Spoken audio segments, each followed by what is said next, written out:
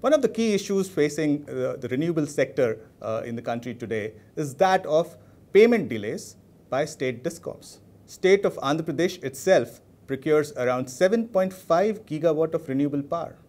However, on July 1st, it set up a high-level negotiation committee to relook at projects with tariffs higher than its average power purchase cost or the prevailing market rates. This in itself would mean that the entire 7.5 gigawatt of capacity will be coming under the renegotiation scanner. At CRISIL, we believe this is likely to aggravate the payment delay risk from AP discoms. We estimate that prolonged delays can put to risk around 5.2 gigawatt of renewable capacities.